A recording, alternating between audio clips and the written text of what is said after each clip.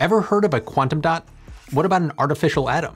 Though it might sound like technobabble from Star Trek, Live long and prosper. which of course I'm a fan of, this is a real piece of nanotechnology that has the potential to revolutionize fields like medicine, consumer electronics, and especially solar energy. Actually, quantum dot technology has been in TVs for years, so why isn't it already in my solar panels? Well, there are a few challenges, some of which might sound familiar to you if you're in the know when it comes to cutting edge solar tech. But if we can engineer around these challenges, then these little devices could have a big impact, breaking the limits of our current solar panels and ushering in a new, radically more efficient age of solar energy. So let's take a look at what a quantum dot is and why so many people think this little advancement could have a massive impact on our lives. I'm Matt Ferrell. Welcome to Undecided.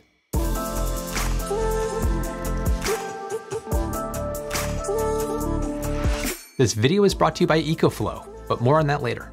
What even is a quantum dot?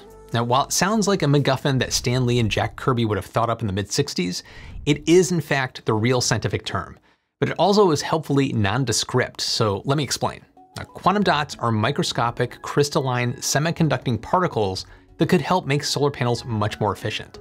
How much more? Well, the theoretical maximum conversion efficiency for a single junction solar cell is around 30% efficient. We can add more junctions, like six of them, to bump that theoretical max efficiency up to 51.4%.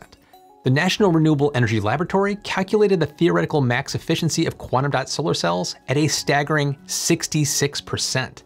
And they're theoretically much easier to pull off than multi-junction cells. If we can make them work, then quantum dots could change everything. That might make you wonder though, like it did me, how do they do this? Well, quantum dots are so small that their electrons can only move in very specific ways.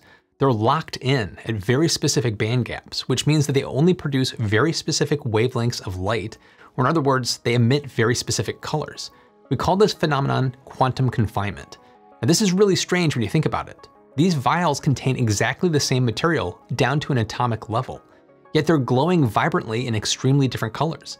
The only thing differentiating them is their size. The biggest and reddest ones tip the scale at 10 nanometers, while the smallest and bluest quantum dots are just 2 nanometers in diameter. Now for comparison, a human hair is 80,000 to 100,000 nanometers thick. Your blood cells are 10,000 nanometers across, and even a single strand of DNA is about 2.5 nanometers wide. Quantum dots are so small that for all intents and purposes, they're considered zero dimensional. and at this size, things start to get weird, and the laws of physics seem to start to break, like with the quantum confinement I just mentioned a moment ago.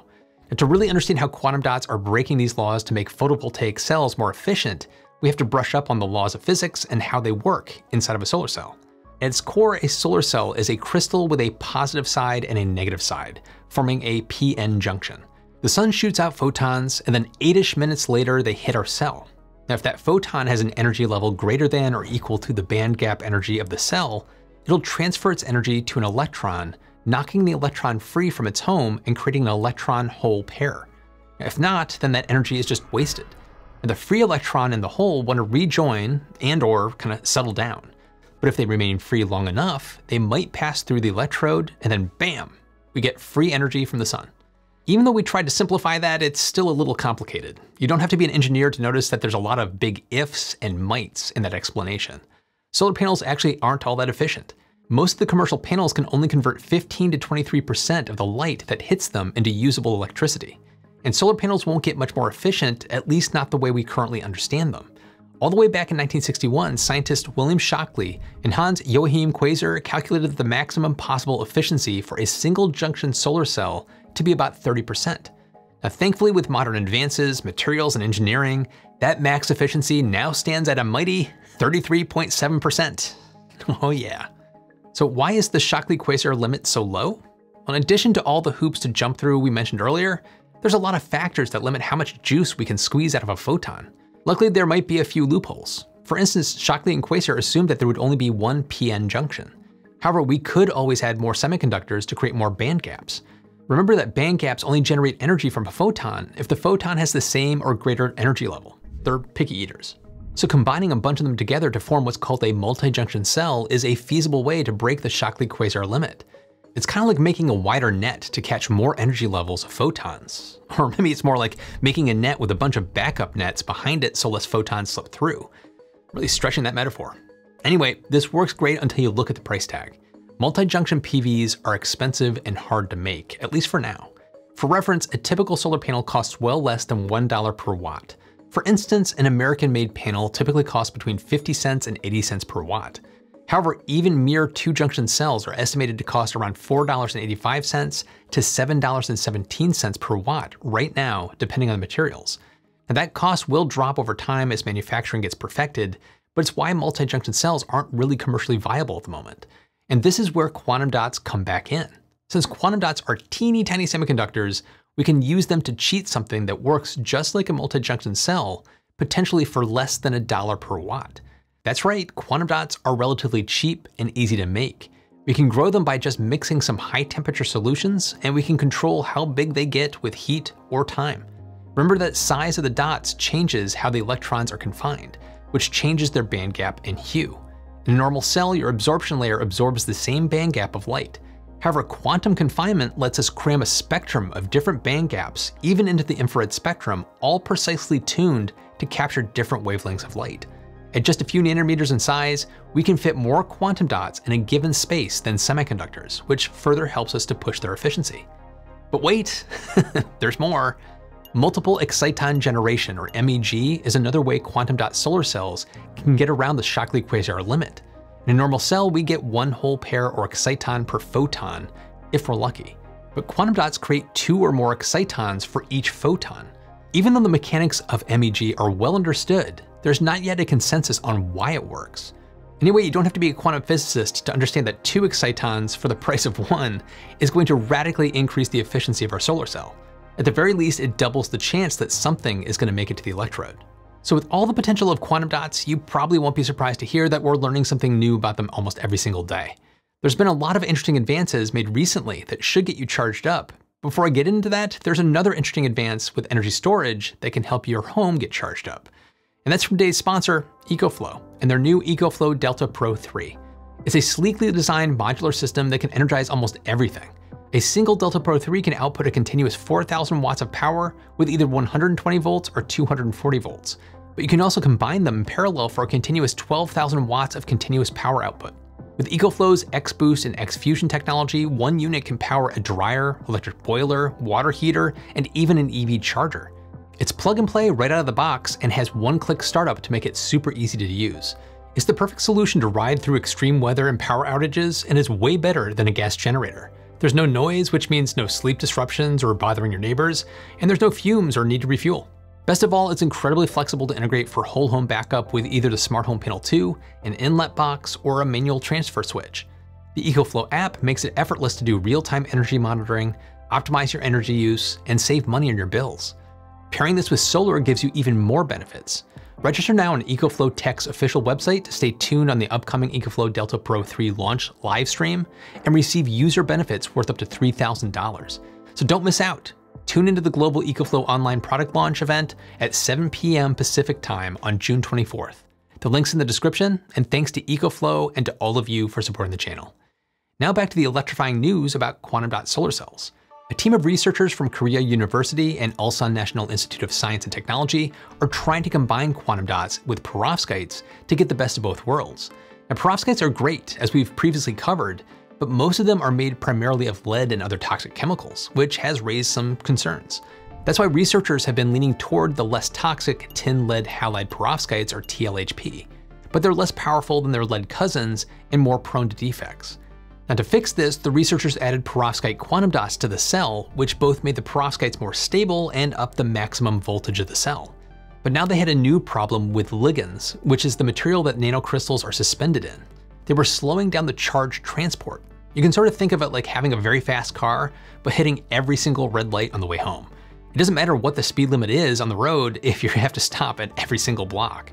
The researchers treated their cells with a little isopropyl, which sort of loosened up the ligands and made everything gel together, creating better, smoother highways for the charge to kind of drive through. As a result, their perovskite quantum cell was more efficient and faster, showcasing improved open circuit voltage and record-breaking conversion efficiency for tin lead halide perovskites. Meanwhile, a totally different team of scientists from several Korean universities and institutions just developed a flexible quantum dot solar cell based on all inorganic cesium lead iodide or black perovskite. They can deposit a coat of these perovskite quantum dots quickly and at room temperature using a simple layer by layer process to create a flexible cell. Now the room temperature thing is very important, as you'll soon see, since quantum dots don't like too much heat. Ordinarily, it takes some heat treating to connect perovskite quantum dots to the base layer of your cell. But this also increases the risk of defects. Now being able to do this at room temperature should take a lot of the headache out of manufacturing them. And these cells weren't slouches either. The team reported power conversion efficiency of 12.7% under standard testing conditions. Now, commercial solar panels right now tend to hit around that 20% mark, so this technology has a ways to go. But 12.7% is still a new record for flexible quantum dot PV. And all of this is just from the last few months of 2024. But it's not all sunshine and rainbows for quantum dots. Despite their explosion of innovation, they're still a ways off. And despite their huge potential, there's still some serious issues that need to be dealt with. I only briefly mentioned what quantum dots are made from, and that's because most formulations contain harmful metals like lead, cadmium, arsenic, and mercury. Now this has raised some concerns about toxicity, but the construction and recycling of quantum dots is comparable to standard solar, where health and safety standards have been well established to deal with contaminants. Again, like standard solar, once in operation, quantum dots don't present issues because they're locked into the layers of that solar sandwich. What we don't know is what the package of quantum dots and nanoparticles does to the human body. Due to their small size, quantum dots could be inhaled or otherwise enter the body.